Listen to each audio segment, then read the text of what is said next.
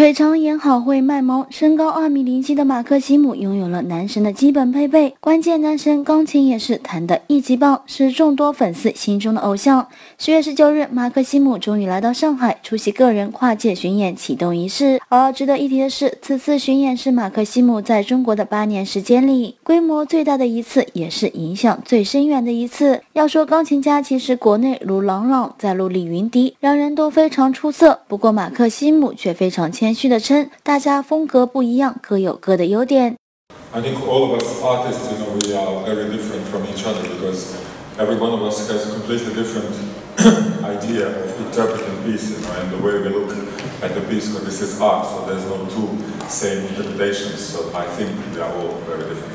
马克西姆是世界上弹奏钢琴最快的音乐家之一，曾以每秒弹奏十六个音符而闻名。他演奏的多数作品都慷慨激昂，振奋人心。他的演奏风格在全球众多钢琴家中可谓独树一帜，以极高的知名度与专业程度排列首位。在当天的活动现场，他也大方连弹了两首得意之作。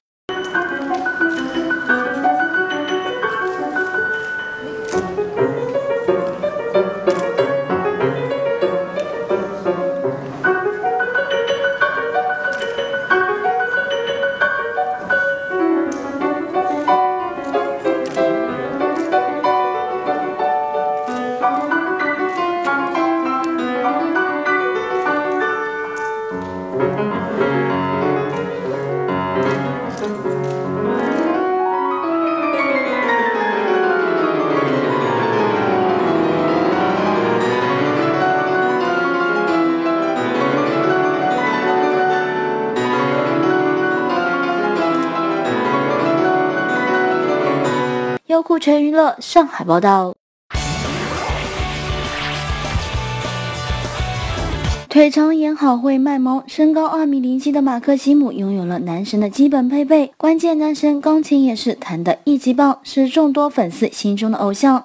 十月十九日，马克西姆终于来到上海出席个人跨界巡演启动仪式。而值得一提的是，此次巡演是马克西姆在中国的八年时间里规模最大的一次，也是影响最深远的一次。要说钢琴家，其实国内如郎朗在陆李云迪，两人都非常出色。不过马克西姆却非常谦虚的称，大家风格不一样，各有各的优点。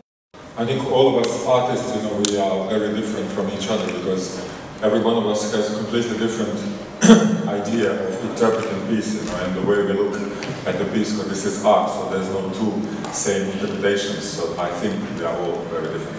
马克西姆是世界上弹奏钢琴最快的音乐家之一，曾以每秒弹奏十六个音符而闻名。他演奏的多数作品都慷慨激昂，振奋人心。他的演奏风格在全球众多钢琴家中可谓独树一帜，以极高的知名度与专业程度排列首位。在当天的活动现场，他也大方连弹了两首得意之作。